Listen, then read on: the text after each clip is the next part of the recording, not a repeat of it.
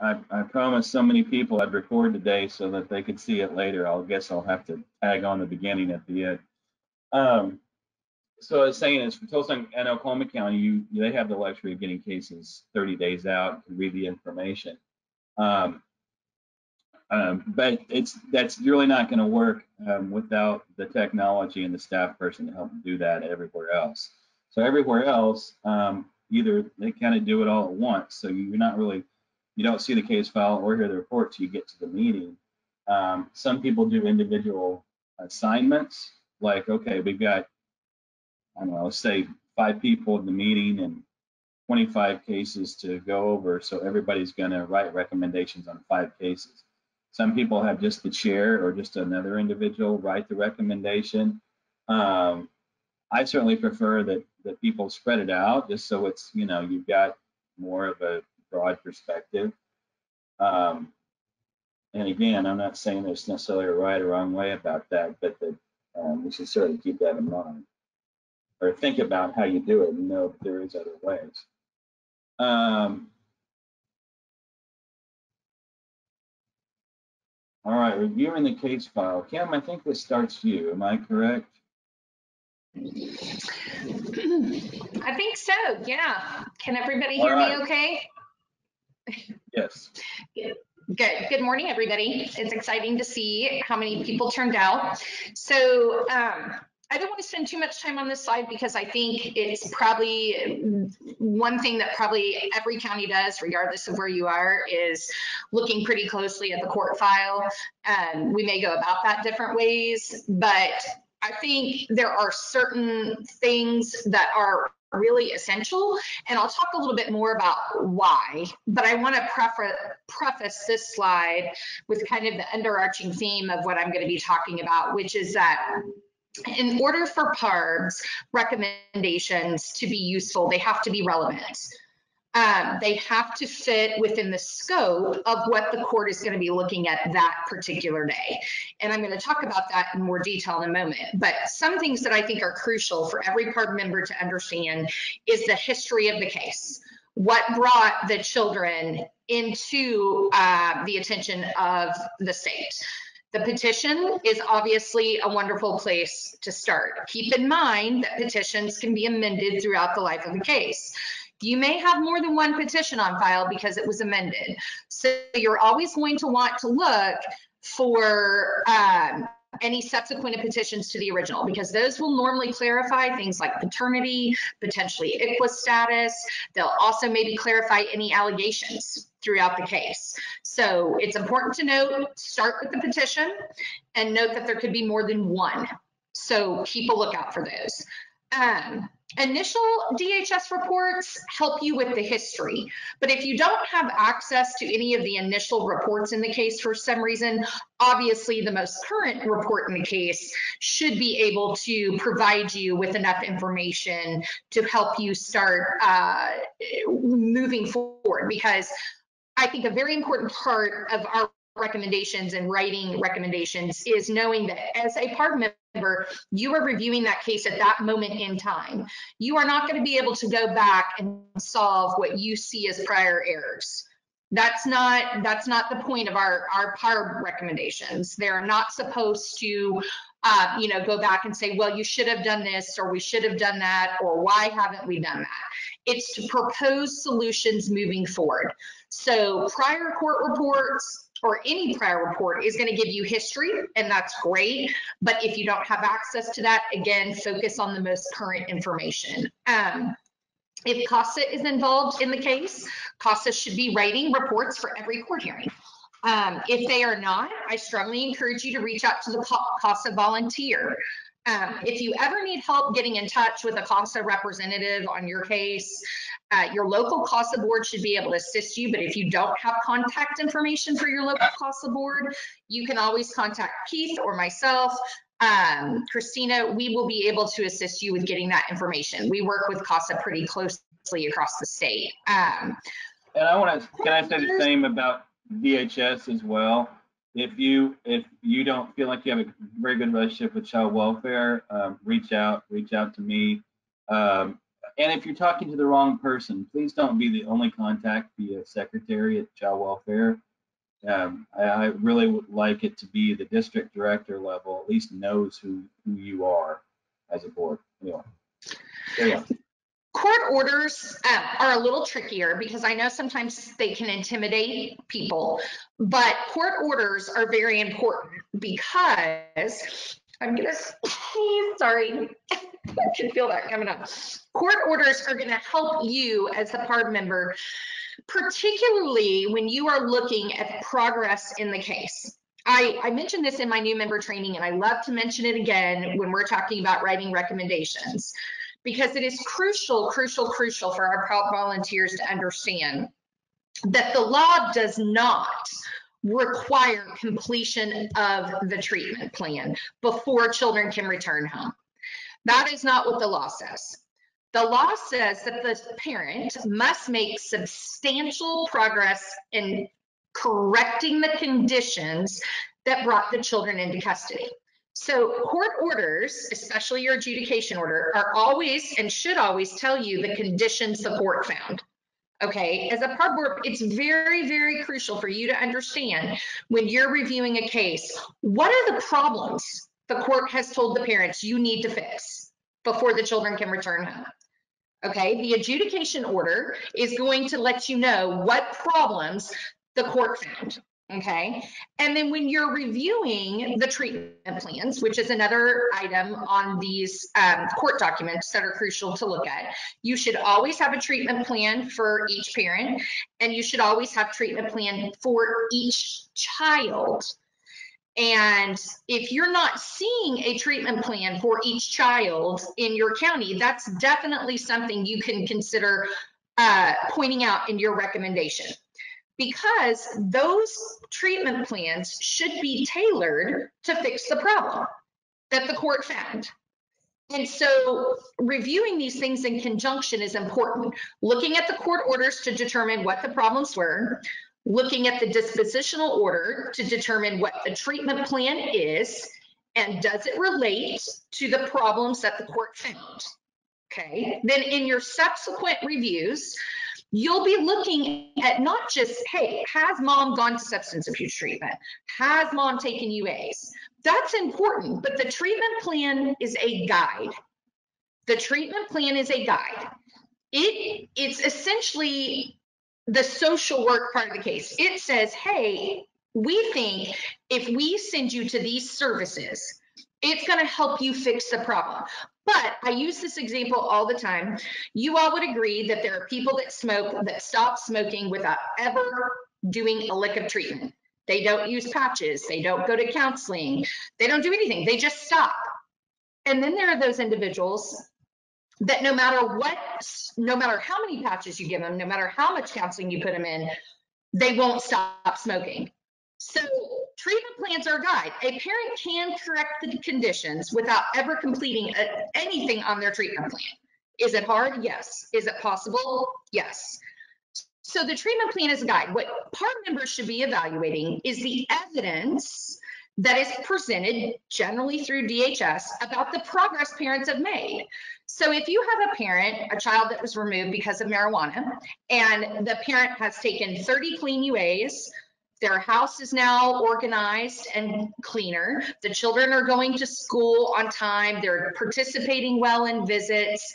Even if mom and dad didn't go to treatment for substance abuse, is it possible that parents corrected the condition of substance abuse? Smoking marijuana. Yes, it's possible. So looking at court orders and looking at treatment plans will help you as PARB members understand what the problem is, what we laid out to help them fix it, and then what progress they're making toward correcting that problem. So those are the things that if you have access to, I strongly recommend you review. Um, and if you don't have access to them, I think it's a great question. Uh, Keith can help you maybe uh, work with your local chair uh, to work with your local court system to make sure those things are accessible to you because you do have every right under statute to review them. Okay, Keith, I think I can move on to the next one. I don't know about it. Okay. So I mentioned this when we first started. Um, It's also very crucial as a PARB member for you to understand what type of hearing your case is going to be set for. And there are different types of hearings within the context of these deprived cases. The most obvious place to determine what type of hearing it is is through the court docket. Um, your chairs usually should, hopefully, if not, again, maybe something we can help with, have access or get a copy of the court's docket to help them know what cases to pull for review. And maybe they're just getting it that day. Maybe they're getting it a week in advance. I know it's different for every court, but hopefully your chair will be able to have a copy of the docket, which will help you understand what that case is set for. And here's why. In the simplest terms, at each hearing, the court is limited in scope to what decisions they can make. Okay, and I'm going to give you the most, the easiest example I can give you. At a permanency hearing, the court is going to be determining the permanency plan for that child. They're going to be looking at whether adoption, guardianship, uh, return home, or planned alternative placement is the goal for the next phase of the case courts are bound not to make decisions about issues that are not currently before them and parties have not put on notice for. So let's say you're at a permanency hearing, only a permanency hearing, and parents, mom's attorney shows up and says, Judge, we want to talk about visitation. Mom, I filed this motion right before court. The court is, uh, mom is requesting that visitation be increased. Is it appropriate for the judge to make a decision about that motion at that hearing? No, it's not because parties weren't on notice and that's not within the scope of what the case is set for that day. So I think if you go to the next slide, Keith, it'll kind of break down some examples. There are certain cases that I I don't know how your courts docket them, but these are examples of cases that PARB probably, if they are set on your docket for a service issue, any type of genetic testing, any type of trial, or any type of motion hearing, it's probably not going to be helpful for PARB to review the case for that hearing because your recommendations are generally not going to be tailored to any of those topics. Therefore, the court's not really going to be able to, if you write a recommendation about visitation and that court hearing is set for service of a petition or a trial or paternity results, the court is not going to be able to utilize your recommendations about visitation at that hearing.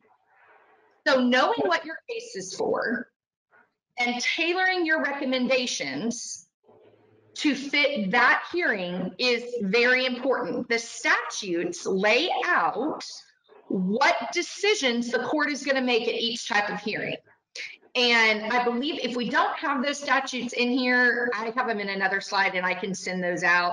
There's a statute that specifically says what the court can decide at a dispositional hearing, what the court can decide at a permanency hearing, what the court can decide at a review hearing. Knowing what those statutes lay out will help you better tailor your recommendations. So the next slide, Keith. Can I jump in here real quick, Kim? Yeah, please do. so there are many ways to know which cases you're going to review. A lot of you all um, depend on child welfare to show up with a list of cases for you to review. Um, again, there's good and bad in that, what's bad in that is you don't necessarily, they may be reviewing cases that aren't coming up for another 25 days or that got reviewed yesterday. So you don't know what's necessarily going to be on the docket. Most, a lot of folks use the deprived docket, which I think is the best way to do that because in that way you're kind of keeping an eye on what's coming up over the next 30 days for sure. The problem with that is you need to do a secondary screening with what's on this slide that Kim just talked about because if because that's when you're going to like when I've kind of acted as a chair in a county, I'll get a list of cases from the from the bailiff on the cases that are coming up, and then I'll remove the genetic testing ones or the service ones or the non-jury trial ones. I'll go back and thin that out. So if you're not doing that, you need to. That's another way of uh, making sure that you're not, you know, that you've got more time for the cases. So carry on, Kim. Thanks. Yeah, I think the next slide just lists cases that are obviously, um, or maybe it doesn't, but cases that you should be reviewing are things that are set for disposition. I do think, I don't know when most of your boards are starting to, uh, yeah, this is good. I don't know when most of your boards are starting to review your cases. Um, it's different in every county. I think historically the pattern has not been to review PARB. Sorry, historically the pattern has been that PARB is not reviewing cases until we get further into the case. Um, and I personally advocate the opposite. I think the earlier that PARB members start reviewing cases, the better opportunities we have to identify barriers earlier in the case. So I don't know what each of your counties call it, but statutorily it's called a disposition hearing. It should be called that in the majority of your counties. Um, I want to proffer that I think the dispositional hearing is a wonderful time for PARB to review these cases. And here's an example of why. Because at disposition, by statute, there are several decisions that the court must make. They must determine who gets legal custody of the children. They usually, depending on the status of, of each parent, will be entering a treatment plan, or as Barbara pointed out, the legal document you will see in the court file is instead is called an individualized service plan or ISP. The ISP and the treatment plan are the same thing. So we should be entering a treatment plan for each parent in which the court has found there are conditions or problems to be fixed. A treatment plan should be entered for each child. Um, the ISP or the treatment plan must be related, as I mentioned a minute ago, to the conditions that the court found at adjudication. So by looking at the adjudication order and looking at the treatment order, you, you want to make sure that the treatment plan addresses the problems adequately. Why is it crucial that every child have a treatment plan? Because we're not just treating parents. We have to treat the trauma that the family experienced if we want to have more successful reunification. Um, I I know we have limited time, so I can't go into too much, but I love to give this example. If you had a child removed from a home because of severe domestic violence, and that child is going to daycare and having difficulty um, if hitting other child, if the child during visitation is being physically aggressive with the parent, not only to at some point make reunification successful, do we have to treat the parents for the trauma and domestic violence, but we also have to treat the child.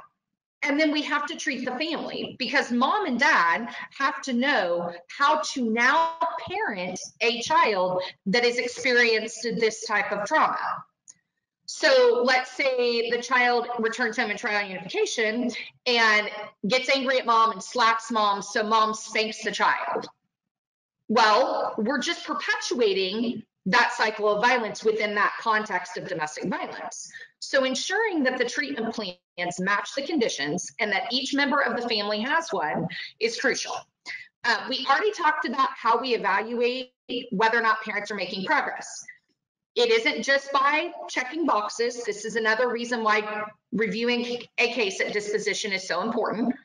Um, we should also determine a visitation plan for parents and just as important for siblings if siblings are separated. Again, unfortunately, I think with um, I would love to say at some point we will have enough foster homes, but in the almost 20 years I've been doing this, we have always had a shortage of foster homes. And so it is an unfortunate reality that siblings get separated. And it is very difficult with everything going on and with the case, but it is crucial that the siblings have the opportunity to maintain a connection. So if you're looking at all of these things that are decided at one court hearing, you can imagine that sometimes things slip through the cracks. Maybe DHS forgot to prepare a treatment plan for siblings. I'm sorry, visitation plan. Or maybe we didn't get the treatment plans for each child completed. So this is why the earlier we look at cases, the better. And I use the disposition hearing as one example. Um, I think we can go to the next slide, Keith. Um, again, permanency hearing, it's limited in its scope. I do want to clarify that there, the permanency hearing and review hearings are two totally different hearings. Now, often courts will hold them simultaneously, and that is okay. And if they do, they should address everything that the statutes require for a permanency hearing and everything that the statutes require for a review hearing. But they are different and they look at different things. So I think a permanency hearing is the most obvious. As we discussed earlier, we're looking at the permanency plan and what should it be. We're looking at whether or not the department or the state has made reasonable efforts to meet the permanency goal.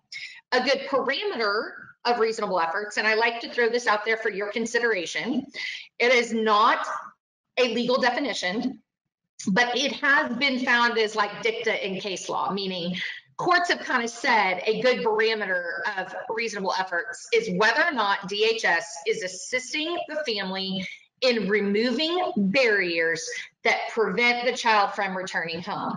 So a good example of that may be very simply, if mom has been very successful in working her treatment plan, but still has not found housing, and we get to a permanency review and the court asks DHS and the state, what have you done to help mom find housing? And the answer is nothing. Has the state made reasonable efforts? Questions, all things that can be evaluated by you as PARB members. So hopefully that definition, very loosely, might give you um, a, a framework with which to view these cases and the efforts that are being made. I think we could go to the next slide, Keith. Post dispositional review hearing, I put that because that's the title in the statute, but it's most commonly referred to as a review hearing. This hearing is where the disposition orders, so what the slide that we just talked about a few minutes ago, that's where those orders are reviewed by the court. So in a review hearing, the court shall determine whether or not the treatment plan, services, and placement are appropriate and remain in the child's best interest. They're going to look at the extent to which progress has been made correcting the conditions that brought the children into custody. It's a wonderful time to determine whether or not the ISP or services or are still adequate or if they need to be modified or clarified for any reason. Another really good example of this is if mom and dad are given a treatment plan that has substance abuse testing on it. Every county does that differently, but usually every county requires some form of it.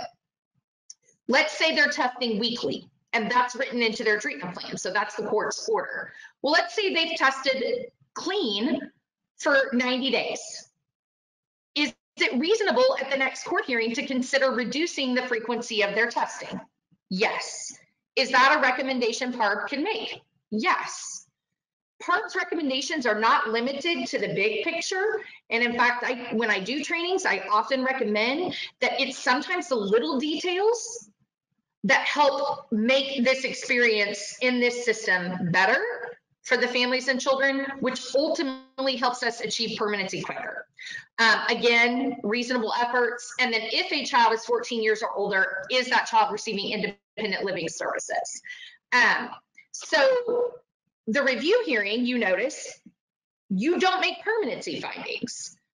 So this comes back just to tie it back again to why I recommended, if at all possible, knowing what your case is set for on the docket so that you can tailor your recommendations to specifically address what the court will be looking at in that hearing.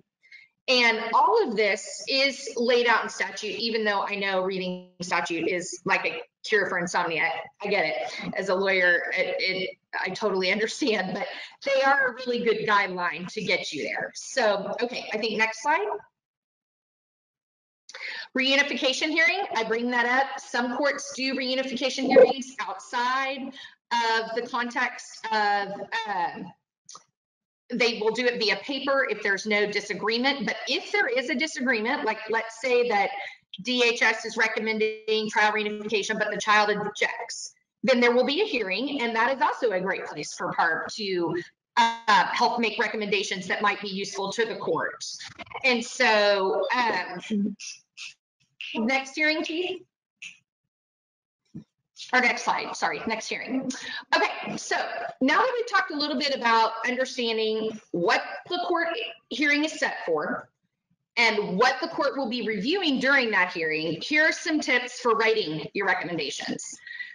Um, I really want to preface this by saying that like Christina said, traditionally judges are looking at your recommendations to provide them information they didn't already know and to help them see or address issues that might have been overlooked.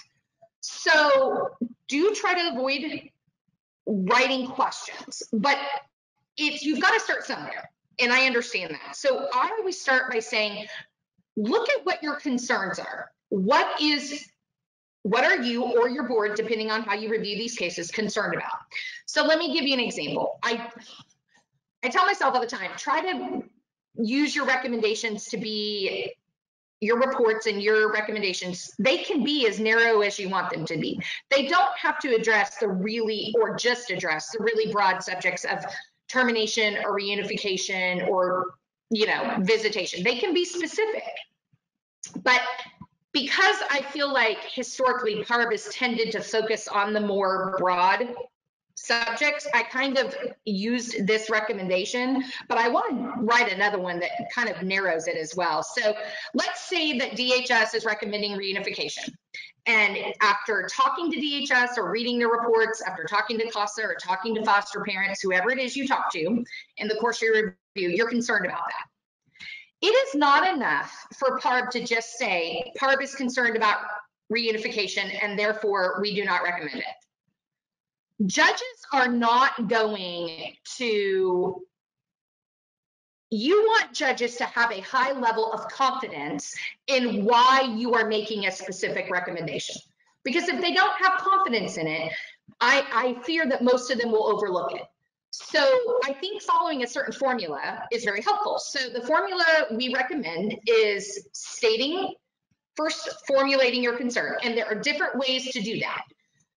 Um, and we're gonna, Keith mentioned there's checklists, there's questions, which we will be providing to you to give you a place to get started. The next is, why is that your uh, concern? So you wanna support your recommendations. Um, Keith, could you go back a slide though, real quick? I want to read that. Okay, so you formulate your concern and then you give supporting details. So, example, the board was concerned about reunification. Then you want to provide your supporting details. The board is concerned about the permanency plan of reunification because the child's behaviors escalate during visitation with mom, and mom has not been able to maintain sobriety for the last seven months. So those details are ones you gain during the course of your review, and they explain to the court why you are concerned about reunification. Okay, next slide. Keith, please. And then based upon your concern and based upon the facts, what is your recommendation? So the board is concerned about the permanency plan of reunification because the child's behaviors escalate during visitation and mom has not been able to maintain sobriety for the last seven months. Therefore, the board recommends termination of natural mother's rights. So again, start with your concern, support your recommendation with facts, and make your recommendation a statement rather than a question. Um, I will say there are times, as a side note, when you are not going to have any concerns, and that's okay. Because as Keith mentioned, our theme is support, protect, monitor. So if you come across a case where you feel like things are going very well and DHS is doing very well and the child's attorney is doing very well, whatever it is, it is perfectly okay to use your recommendation to validify that. To say PARB has reviewed this case. PARB believes that all parties are, you know, uh, addressing each concern and issue as they arise. PARB is in agreement with the current track of the case good job, you know, whatever it is. It doesn't always have to point out a concern. Okay, next slide, please, Keith. Well, the next slide, I think, is we're going to hand it over to the, the, the examples here. Okay, perfect. So yeah, I, I, I, before we went through the checklist stuff, I thought it was important, which you covered very well, Kim, um, to think through, because you know, when you write a recommendation, you know, especially for the first time, like, well, what in the heck am I supposed to write? Well, I think Kim really helped frame that where it's like, well, the first thing is, what are you concerned about? And then the second thing is, why are you concerned about them? Um, and so some things that can help trigger that, and Lee will, you've developed a system over the years that's been really helpful to you. I'm trying to pull it up here, hold on.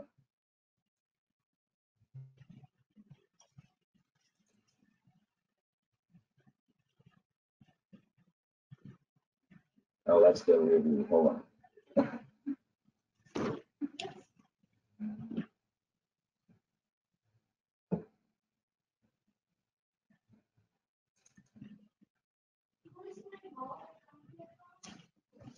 Yeah, there it is.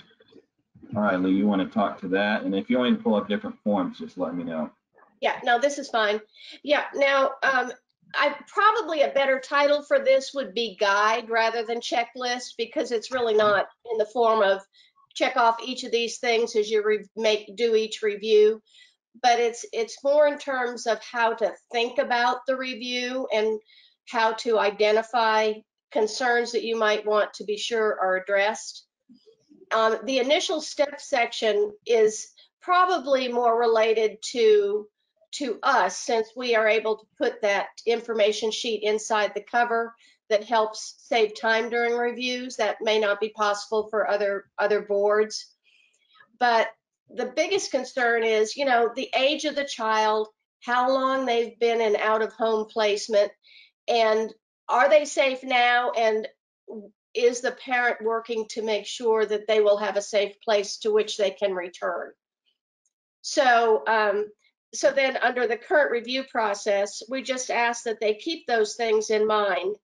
And we listed a few things that the parent, um, when you're thinking about the parent situation, how might you assess them?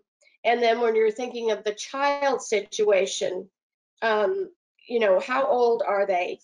How long have they been in out of home care? And that's something that we we put on our um, review form because I think you should keep that in mind as you're doing the review. If this child's only been out of the home six months, there hasn't been time for significant progress. But if it's already been 18 months, you know, is the parent showing a commitment to uh, addressing those safety concerns? And is the child having their needs met? Um, and then uh, in uh, writing the recommendations, I think keeping your audience in mind is important. Now, we do ours a little differently than some others, and we do ask, sometimes ask for information um, on our recommendation sheet um, because sometimes we feel that we didn't we didn't get enough updated information from DHS, or we do want a therapist report, and that would might be something that the judge would order that um, DHS hadn't done on their own, um, and and maybe for very um, understandable reasons. But um, we want we want to be sure that I think since copies of our recommendation are going to a number of different parties, we want to keep in mind our audience and that it should be inoffensive but actionable by any parties um, that that need to uh, to respond to what we're recommending. Um, and I think you know, as I said, is uh, and I think that's what Kim said is even if the parent isn't ticking off all the boxes on the ISP, if they are showing progress without actually attending all that all those classes, then that's something we can consider. Um, how does the child respond to visitation? Um, is the parent putting an effort into visitation? Um, uh, and the other thing would be if in the looking at the situation as it is today, would we have taken the child out of the home like today? So even if everything hasn't been resolved, is the child safe if they're returned home today? If not, then what else needs to happen before that's possible? Or do we need to suggest um, pursuing another plan of permanency for this child based on how long they've been out of the home? So I think that, you know, rather than go item by item down this PARB reviewer, reviewer checklist that we use, um, people might just refer to it, see if that would um, help them in uh, just giving a guideline to their members, particularly their newer members that haven't reviewed a file and might need some additional um, guidance and suggestions.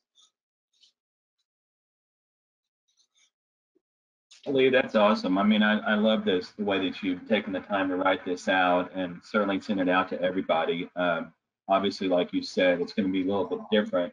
I think, though, there's enough commonality in here, though, that most PARB folks that have been doing this for any length of time would recognize that they follow some of the same procedures and things like that. And if you wanted to take your, I, I assume you'd be okay if they took your your list and made some edits to to make it more conducive to them.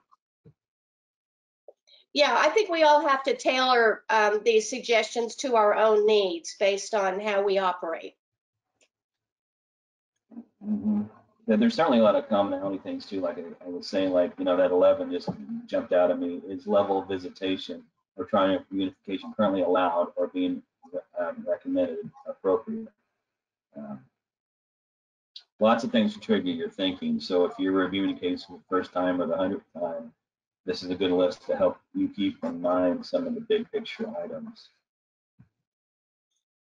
Um, I want to show some of your other forms. Can you think of, not the recommendation yet, we'll get to that, but um, you've got a parent information form. And then every county has.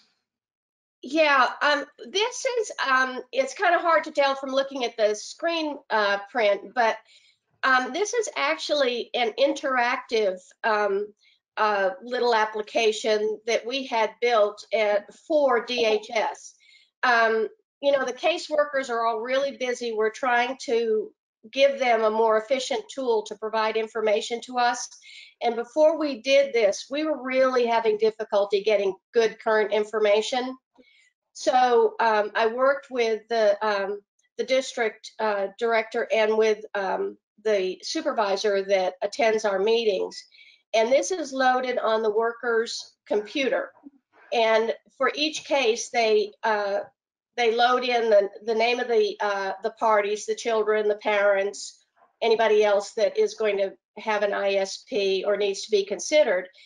And then they are um, able to input in each of these areas where the parents are complying, where or the where they're not complying, um, concerns, that kind of thing. And then they print them off and the supervisor brings those to our meeting. So we get a current update for each of the cases we're going to review because the supervisor knows which cases uh, we're, we're pulling that month. And then the next month when they go in on their computer, they don't have to re-enter everything that they had initially. They will just update the information with anything that's changing or any additional information. So it's kind of an efficient tool for them um, to provide information to us. And we find that we get much better information since we made this tool available to them. And it's, it's a real simple little tool. And I may be able to share the tool itself, like on a, a jump drive or something. I'd have to check that. Okay, yeah, that would be great. Or if you can send it to me, I've got Adobe Pro, I might be able to. I mean, I've got this PDF version, but um, anyway, uh, we can talk more. But one of the things that I really like is how you've got these kind of narrative sections. I mean, I think most people use the old PARB standard DHS reporting form that has a bunch of check boxes in it. If that's working for you, Mm-hmm. great. Um, I appreciate these um, kind of little narrative sections. You can say areas of, you know, things are going well, things are not going well, visitation issues, unresolved issues, just real quickly. Uh, anything that saves child welfare time and energy and can give you the information that you actually need is great. Uh,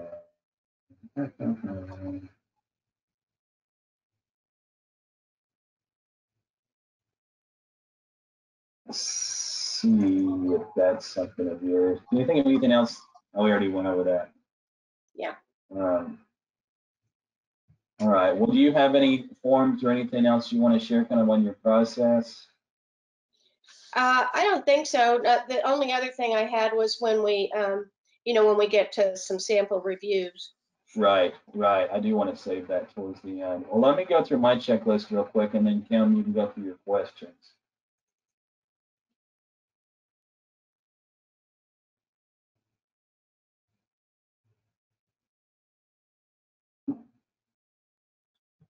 So this form was created before I started. Um, I think it helps, you know, part of the training that I know Kim and I both do, we talk about identifying timing issues.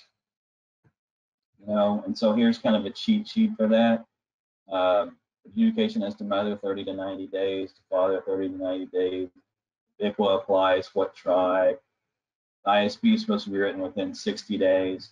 So again, if you're looking at um, you know, here's termination filed on mother, uh, children out of home 15 to 22 months. Of course, as you know, unless there's a compelling reason, which there often is.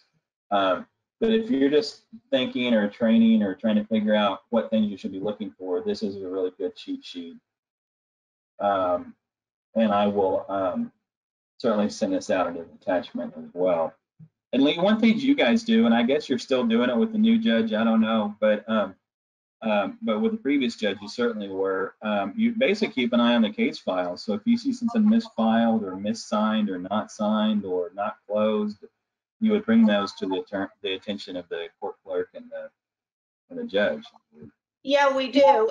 And there's one other thing I might mention is that, and we had a couple of instances of this where a case did not, we were not made aware of a case that needed to be reviewed. So we didn't even know about it. It, it came to our attention uh, by accident. So what I do, and I don't know, some others may have this ability too. We have a really good relationship with DHS in our county. So the supervisor, once or twice a year, I request that they give me a copy of their kids file that lists, just lists all the cases. And I compare it to um, an Excel file I keep on my computer to make sure that they don't have cases for children that I don't know about. And if we find that there are some, then I talk to the um, the court about is is this a case for some reason we don't need to re, to review or there are other circumstances where I can just not add it to my list. But we found over, and not many, I mean, it's only been a few over the course of many years, but you hate one of my big concerns would be that a, a child falls through the cracks because nobody them. And and I'm sure DHS is taking care of them, but we're not overseeing them and performing our role if we don't in, aren't informed that that case even exists. So I'm um, so glad you brought that up. I mean, I, I hear you that that doesn't happen very often, but it's also if you look at the original statute, the reason PARB was created is to make sure that kids don't get lost in the system. Well, that means you need to cross-reference your case list and make sure that they don't. So if Yeah. you're just if you're just following the the bailiff's um, docket list, you're not going to pick up the ICPC, the Interstate Compact list, because that case is not the court case is not in that county. That court case is going to be in some other county or some other state but child welfare is still looking at that case. So we're supposed to keep an eye on those cases too. So I don't know if that makes sense, but um, so you you do have to, and it's I know it's time consuming. You don't have to do it every month necessarily, but every once in a while, cross-referencing your child welfare list against your um, your docket list. Um, and Lee, was there anything else you checked to kind of make sure you didn't miss anybody? um, I don't think so. I think that was that was it. Okay, just, just keep that in mind. You um, want to try to keep an eye out. And it could be a paperwork issue too, but boy, you'd hate for someone to be stuck in foster care forever just because someone didn't file a piece of paper. Um, all right, Kim, um, you, you want to go over these? Um, I Basically, these are your questions taken straight out of your PowerPoint training. Yeah, and no, I don't think we need to go through. If they were just another resource, I, I will tell you, I it's things I've just you know grabbed here and there as I've seen them. Again, they are just questions to basically kick off your hey, formulate, if you're struggling with what, where to start, or questions to ask to help you narrow down um, concerns in the case. These questions are just examples uh, to get you thinking. Um, I really love Lee's um, questions. I, I think they're fabulous. I, I think they're probably even a little bit more relevant and easier than these. But I've had these for a while and I always hand them out to new volunteers and say, hey, if you're struggling with, with where to start, these are some great questions to ask. In Tulsa County, our review process is a little bit different. I assign the cases, Keith was saying, several weeks in advance, and then our volunteers actually um, interview DHS, they interview CASA, they interview the tribal worker, and hopefully the foster parent. Um, we we have a really pretty good success rate of that in Tulsa County, and I and I'm super excited. I will tell you that um, I think foster parents are one of our, which is very sad, but I think they're one of our most untapped resources in these cases. Um, they are, you know, essentially raising these children every single day, and they have a lot of of information. They have a lot of insight, um, you know, and information.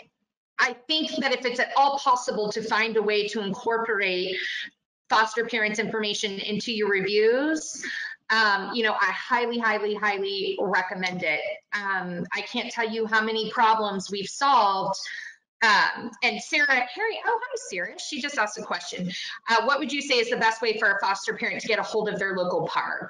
I will let Keith answer that. I know for Christina and I, it's contacting us directly uh, via email, but if they don't know their local chair, I know Keith has it and Keith could absolutely put you in touch with the local chair. Is that fair, Keith?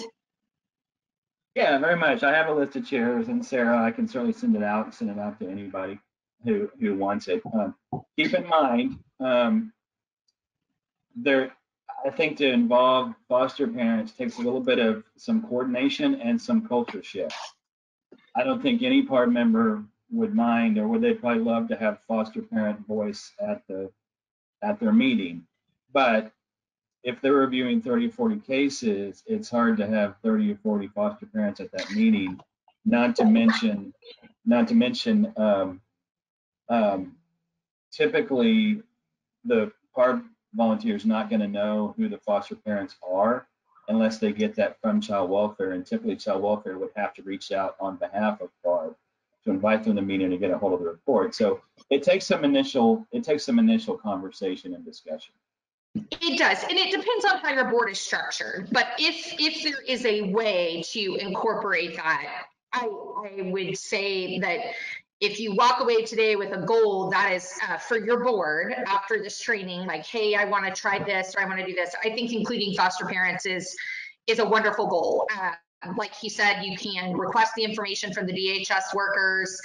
Um, if you get your case assignment in advance from your local chair, and I know some of you do not, but if you do, that is a great opportunity to reach out to DHS to get foster parent information. There are several forms that PARB has, I know DHS uses as well, that allows a foster parent to basically provide information to the court and parties. Maybe they're most commonly called a foster parent court report, but there's foster parent information forms. Um, those can be utilized by your PARB board.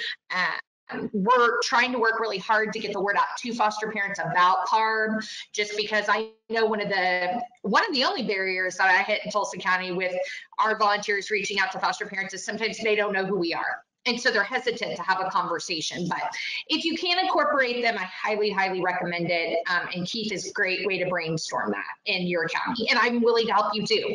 I know Christina is as well. So that's it on my checklist. I don't know that it's it's I, I would start with Lee's, but if you if you need some more resources, I think it's it might be helpful and it's broken down by you know questions to ask pertaining to each type of hearing that you might be having. Yeah, um, and I've gotten a few just back on the foster parent subject real quick. Um, because of this outreach and you know, our great connection with Sarah and, and the Foster Care and Adoptive Association and that great partnership, I've gotten some calls about, you know, hey, um, I want my I want my case reviewed by the local PARB board. Um, well, for one thing, we're not statewide, unfortunately. Um, and I always try to help them understand the expectations. At the end of the day, PARB will be making a recommendation to the judge, and then at that point, it's what the judge wants to do. So managing those expectations is can be a challenge too. But and but they get that if you just remind them of that. Um, anyway, that that's great. Let me share one more while I've got the mic here. Um, Christina just recently did one for her Indian Child Welfare. Probably staring right at it. There it is.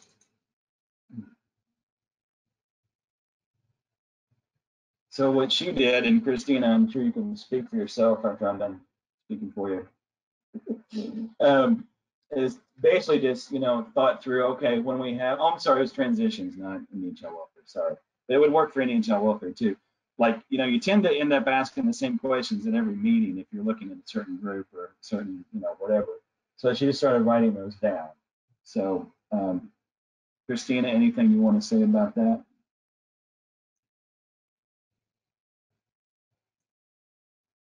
Well, um, that was just a rough draft, so.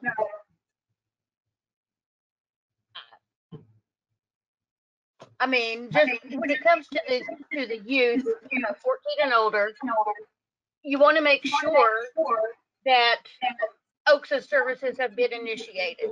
Uh, they do their, their very first, um, plan for my future at 14 and then it's upgraded every year. So you want to make sure, you know, that they're uh, aware of that uh, service and what it means uh, to to the youth. I mean, it it's basically I don't know, you caught me by surprise, Keith. I know, sorry. Well, my my main my main point in just bringing it up is to show how easy it is to just start writing some of the same questions you ask at every meeting, so that you can. That's a good way to train somebody. Um, Lee, I'm not sure how you started your list, but I imagine it was someone like that. You probably realized you're asking the same questions over and over, and you start writing them down. Um, so I'm going to actually Kim, for the last couple of slides, I'm going to make you a moderator. All right, you got yours ready to open? I, me? Yes. Yes. I think so.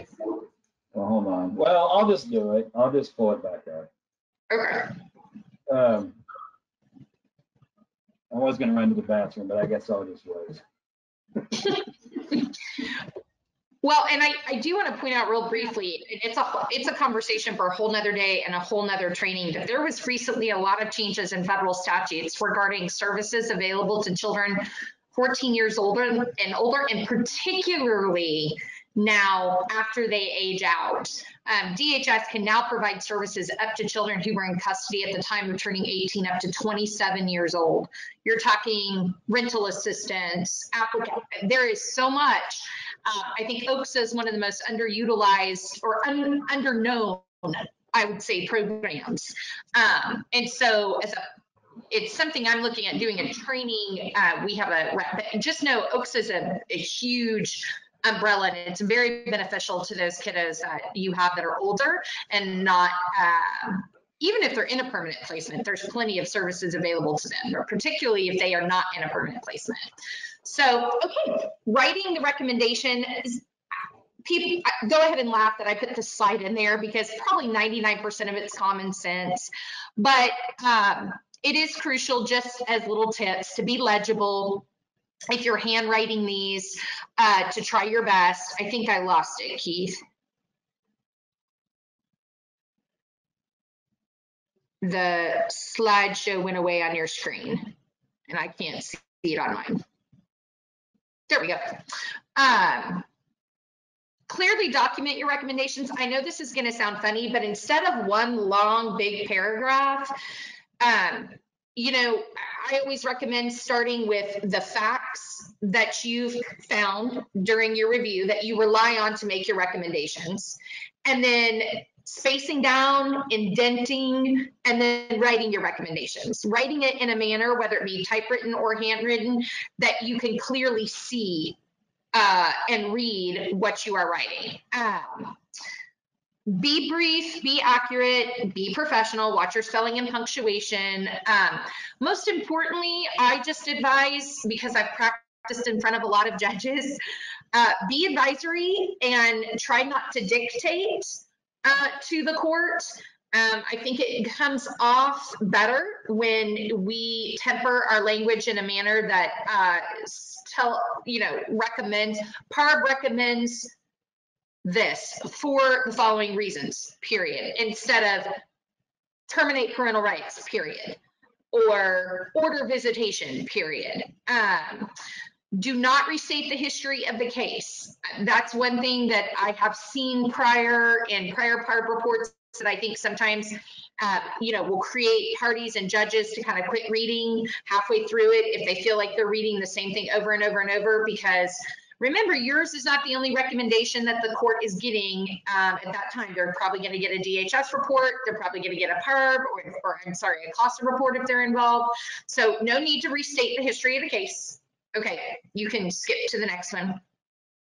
Keith, if there isn't it. Okay. Um, I like this slide though, because I think it's good reminders. Documenting expressed concerns by the parties is absolutely okay, especially if those parties don't necessarily have a strong role in the proceedings. So I go back to, um, I love to use the foster parent example. Some foster parents don't even, aren't even aware of when a court hearing is, unfortunately. They should be, but they're not always. So I found sometimes foster parents have a lot of crucial information that they'll provide to our volunteers. And even if it doesn't ultimately end up recommending being a recommendation part by PARB, it's still okay to document that concern. PARB talk, uh, spoke with foster mom, period. Foster mom reports that the child is having frequent night terrors, period even if you're not going to follow that up with a recommendation, which I, of course, would, such as PARB would recommend court order the appropriate therapy to address the night terrors the child's having, or whatever it is um, that your recommendation is. But it's also it's also okay just to document those. I said it earlier. I'm going to say it again. Little things matter. Um, I think we're often trained to think that to look at big issues like placement and permanency, and don't get me wrong, you should, but it's the little details that sometimes can make the experience in foster care better for these children and families. For example, if a child's been placed in three different foster homes and they've moved schools and they have an IEP, what is the likelihood that that IEP is getting transferred appropriately and timely in each case? Very minimal. But is an IEP crucial to a child's ongoing education and how the school educates that child? Yes. So I love to use that example. Um, it is important to know, as we stated the background of the case, but it is not PARB's role to reinvestigate. So, and that kind of goes with the one below, which I mentioned earlier as well.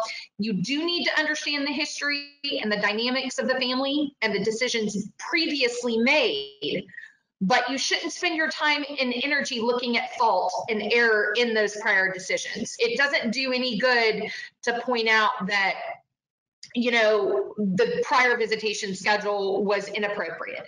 It does do good to make recommendations about what that visitation schedule should look like moving forward based upon the information that you've come across. Okay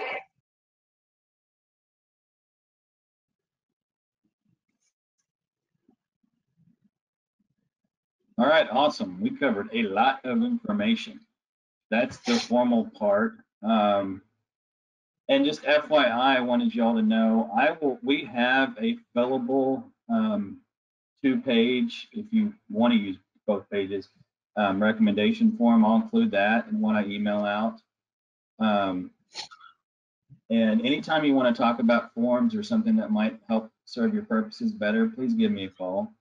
Uh, obviously, you know, might start with Kim in Tulsa County and Christine in Oklahoma County, but but for all the rest of you, I'm your guy. So um, let me know and we'll we'll talk about it. So with that, uh, let me um, let's let's open it up for questions or thoughts.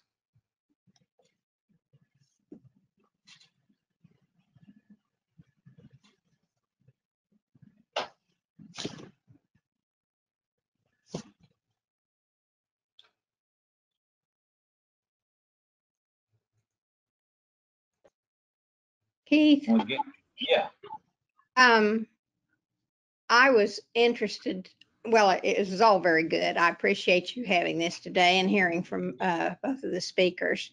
Um, I've had an issue not too long ago of finding out that there were cases that, uh, we have not been reviewing, and in both cases, they were sent in from other counties. And when I, I always contact the, uh, uh, the court clerk for the juvenile clerk to get my list and uh, I've never had her add anything on from another county. So I I really was upset that we have some that we've two of them that I know of that have that's happened and we have not reviewed. So we're we're mending that at the moment. But uh, what was the? Would you tell me again um, what the the supervisor list was? It a that I might contact. I, I just need to find some way to make sure I have all of those cases. well, there's, there's two lists. There's, um, what the judge is gonna be going over, um, on their docket, you know, have, you know, some judges meet, you know, have their deprived docket twice a week, some do it once a week, some do it twice a month. Um, Okay. but whatever the case, they're gonna have their bailiff, or in other words, their secretary, is gonna have a list of the cases that are coming up. So that's, I think, your number one list to look at. Okay. Um, and, um, then, which sounds like, I think, Carolyn, you get that. Um, and then, you know, you might in addition talk to DHS to get their list. Um, so when you are, and I don't know, maybe you and I should talk, talk later. When we're talking about out of county, I'm wondering if that falls under the jurisdiction of another PARB board.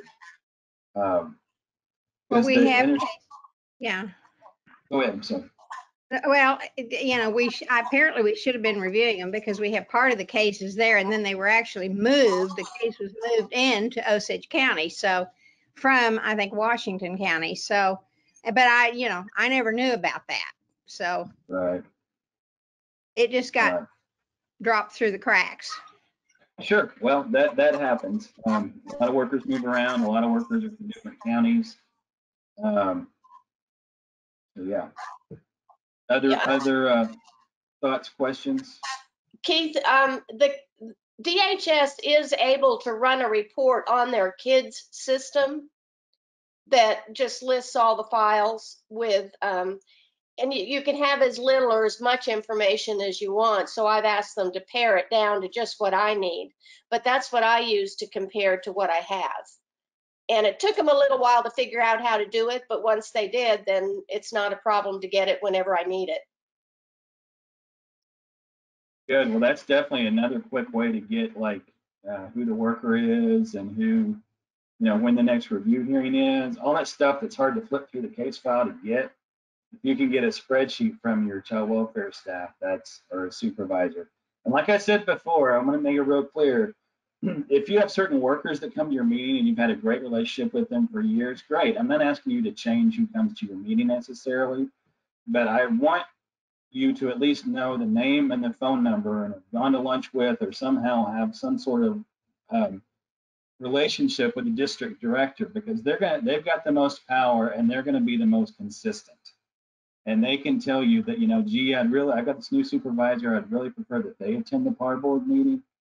Um, anyway, my thoughts on that.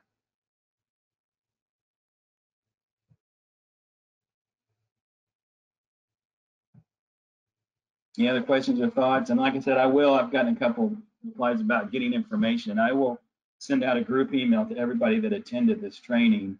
And then you feel free to forward to any of your members or anybody that you feel would be helpful. I, I apologize, Keith, that my uh, screen hasn't been on, but I just wanted to thank you guys for um, being a PARB of this and just being a part member. I am a foster parent, but I'm um, also the executive director of the Foster Association, like Keith was mentioning. And if you need any anything from us, access to our foster families, maybe some strategy on how to tap into that resource, please feel free to, to reach out to me. I'll put my contact information in the chat.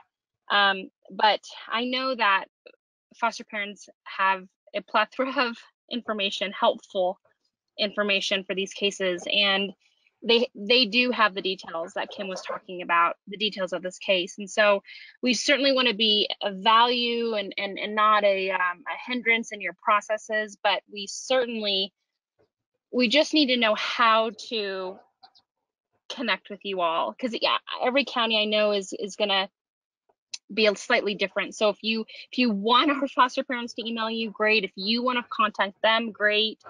But um, be thinking what you know what is the best for your county, and and then maybe reach out to me, and I can get the information to our families. Awesome, awesome. You're a great partner, Sarah. We, we appreciate you and all the foster parents you work with.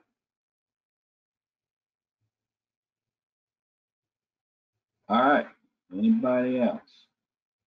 You know, again, I, I know I said it once, I'm gonna say it again. Please, please come away from this being energized, not depressed. You may not be looking at this same level of information in your local PARB board. It's okay. Maybe um, take a couple of these, you know, kind of checklist or review questions. Next meeting, say, hey, I attended this meeting. You know, here's something that might be useful. You keep an eye on. Just showing up, keep an eye on these cases, and keeping everybody honest is is is the most important step and the biggest step. And then the more sophisticated we get beyond that, it just only helps that much more. So, all right, with that soapbox, I guess I will log off. As always, um, Christina and Kim and I just want to um, want to be here to help. So, hold on a second. Um, look at the notes again. Okay, good, good, good. Just compliments. Okay. and Sarah put her phone number in there, and I'll probably put her email in. If I'm sure she wouldn't mind if she put her phone number in. I'll put her email in the email that I send out to everybody. All right. Well, not hearing any other comments or thoughts, I guess we'll go ahead and end it for the day. Um, just um, the the I'm real excited about the um, the field trip we're doing in Oklahoma County at the Juvenile Justice Center on the 17th. And you don't have to be from Oklahoma County to attend that, um, but it's going to be in Oklahoma County. That's not going to be virtual. Um, we're going to look at the Juvenile Justice Center, um, meet with uh, Judge Stinson, see the family tree, and get a tour of the detention center. Um, and then we are going to be um, having our creating a database for our recommendation forms. We've got a training coming up on how to do that as well. Um, so keep an eye out. Hope I don't inundate you too much with emails and uh, have a good week.